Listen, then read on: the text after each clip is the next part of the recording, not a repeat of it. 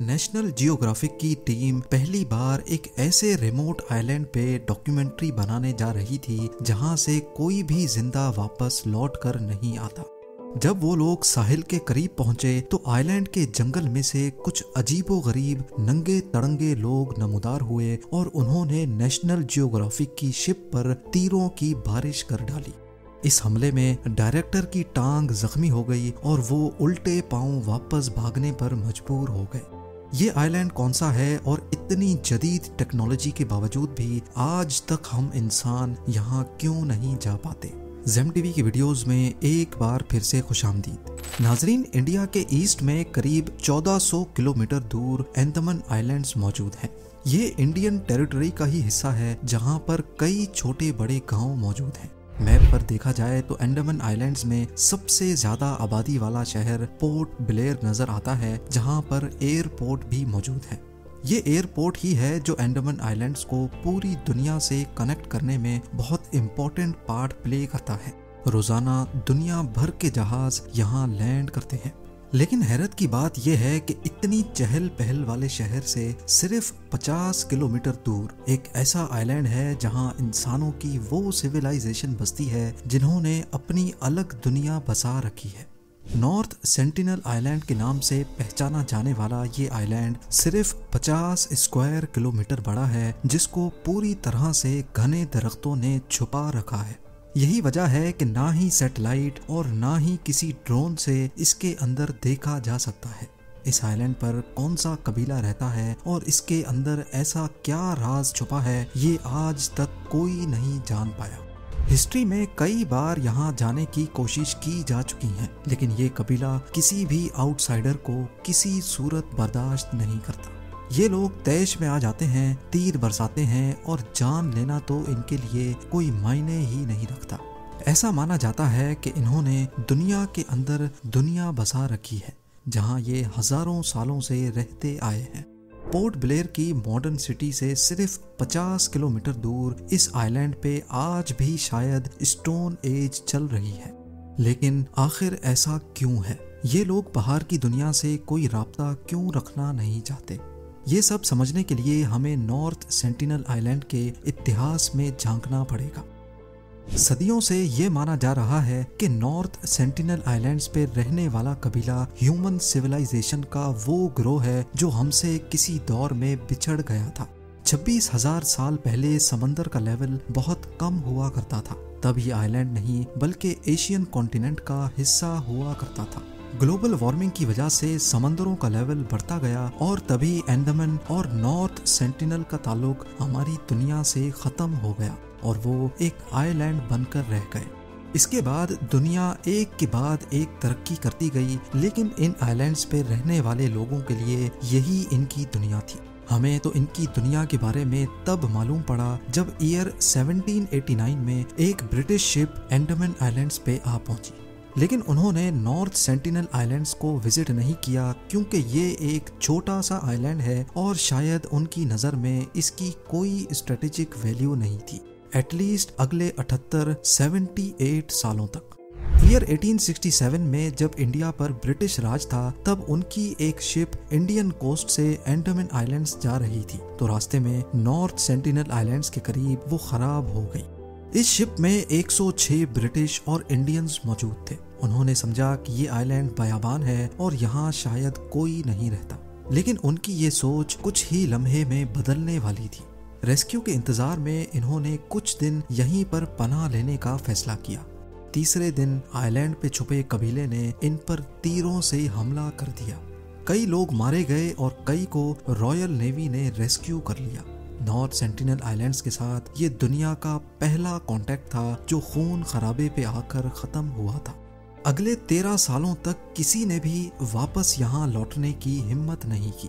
फिर ईयर 1880 में एक ब्रिटिश लॉर्ड को एंडमन आइलैंड्स का क्राउन एडमिनिस्ट्रेटर बनाकर भेजा गया। इनका नाम मॉरिस विडाल पोर्टमैन था और इन्होंने नॉर्थ सेंटिनल आइलैंड पे जाने का फैसला किया। क्योंकि पोर्टमैन वो सारा एरिया खुद देखना चाहते थे, जिसके वो क्राउन एडमिनिस्ट्रेटर बनकर आए थे। उनका प्लान था कि वो कबीले के चंद लोगों को किडनैप करके उनको एंडमन आइलैंड्स लेकर आएँगे।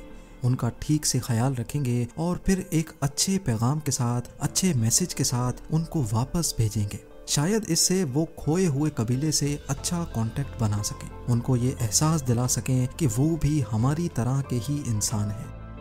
पोर्टमैन नॉर्थ सेंटिनल आइलैंड गए और कई दिन तक कबीले से छुपने में कामयाब रहे। फिर उनको यहाँ एक फैमिली नज़र आई, जिसमें एक कपल और उनके चार बच्चे थे। पोर्टमैन ने उस फैमिली को किडनैप किया और उनको एंडमन आइलैंड्स पे लेकर आ गए। नॉर्थ सेंटिनल आइलैंड की हिस्ट्री में पहली बार इनका बाहर की दुनिया से कांटेक्ट हुआ था। दुनिया में फैली कई बीमारियाँ इनकी बॉडी के लिए बिल्कुल नई थी। बड़ी एज वाला कपल इन बीमारियों की लपेट में आ गया और ज़िंदगी की बाजी हार गया। क्राउन एडमिनिस्ट्रेटर पोर्टमैन को बड़ा अफसोस हुआ क्योंकि उसको अपना प्लान फेल होता दिखाई दे रहा था। उन्होंने चारों बच्चों को गिफ्ट्स दिए और उनको वापस नॉर्थ सेंटिनल आइलैंड्स भेज दिया। पोर्टमैन ने अपनी डायरी में लिखा कि हमारा मिशन फेल हो गया है। हमने सेंटिनल्स के दिल में मजीद खौफ डाल दिया है और ये बेहतर होगा कि उनको अकेला छोड़ दिया जाए। अब ये भी पॉसिबल है कि लौटने वाले बच्चों ने कबीले के मजीद लोगों में बाहर का वायरस फैला दिया हो, जिससे वहाँ और भी लोग मारे गए हों। और ये भी हो सकता है कि उन्होंने अपने माँ बाप की मौत का जिम्मेदार हमें ठहरा दिया हो। लेकिन उस दिन के बाद से नॉर्थ सेंटिनल के इस कबीले का बाहर की दुनिया पर गुस्सा मजीद बढ़ गया।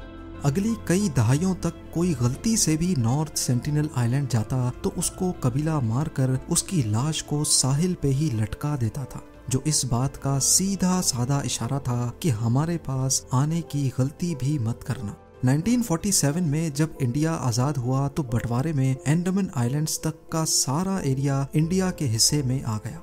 यहाँ रहने और बसने वाले तमाम लोग अब इंडियंस कहलाए जाने लगे, जिसमें नॉर्थ सेंटिनल आइलैंड वाला कबीला भी शामिल था। बेशक इस कबीले को तो ये मालूम भी नहीं था कि इंडिया क्या है। इंडियन गवर्नमेंट ने फैसला किया कि इस नाराज़ कबीले से एक पीसफुल कांटेक्ट किया जाए। 1967 में एक इंडियन एंथ्रोपोलॉजिस्ट त्रिलोकनाथ पंडित ने ये काम अपने सर लिया। वो आइलैंड के गिर्द बोट में चक्कर काटते और गिफ्ट्स फेंकते जाते। वो और कुछ नहीं, बल्कि सिर्फ़ इस कबीले का दिल जीतना चाहते थे। 1974 में नेशनल जियोग्राफिक ने आइलैंड पर एक डॉक्यूमेंट्री बनाना चाहिए जिसका नाम man in search of man रखा गया। इनकी टीम एक बड़ी बोट में सवार थी, जिसमें सिक्योरिटी गार्ड्स, फ़िल्म क्रू और त्रिलोकनाथ पंडित भी शामिल थे। उनका ख्याल था कि वो आइलैंड के और ज़्यादा करीब जाकर गिफ्ट्स रखेंगे, जो लहरों पे तैरकर साहिल पे पहुँच जाएँगे। पहले वो कबीले का भरोसा जीतेंगे और फिर डॉक्यूमेंट्री की शूटिंग भी करेंगे।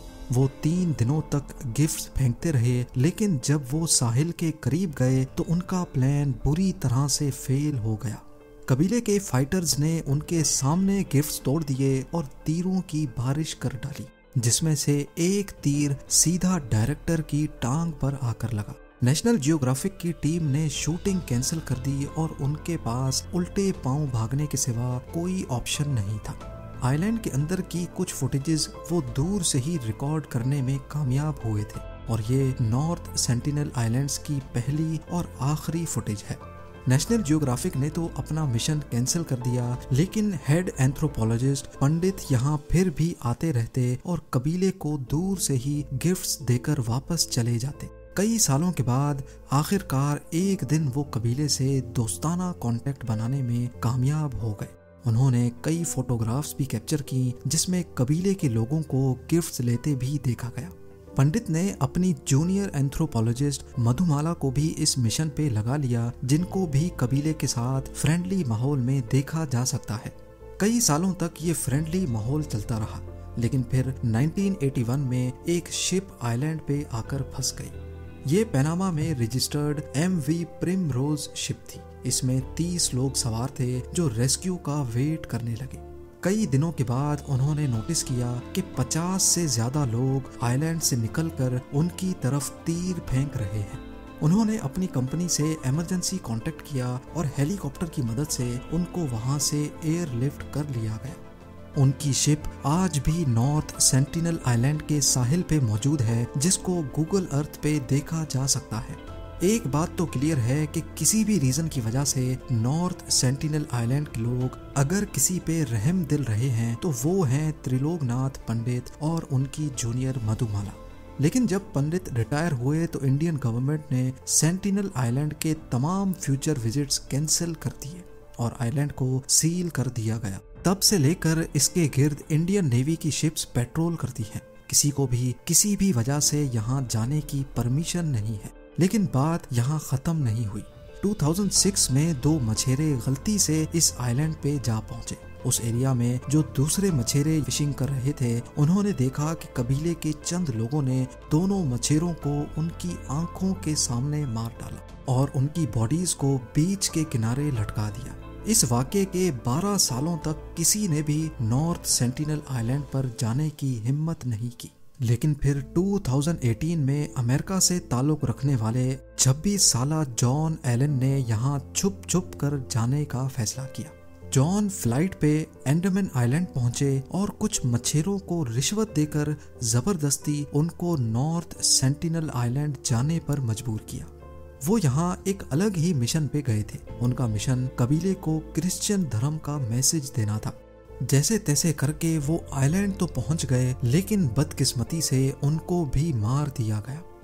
जॉन समेत आज तक पता नहीं कितनी बॉडीज नॉर्थ सेंटिनल आइलैंड्स पर मौजूद हैं, जिनको वापस नहीं लाया जा सकता। इंडियन सरकार ने इस कबीले को खुली छूट दे रखी है कि वो जो चाहे अपने आइलैंड पर कर सकते हैं।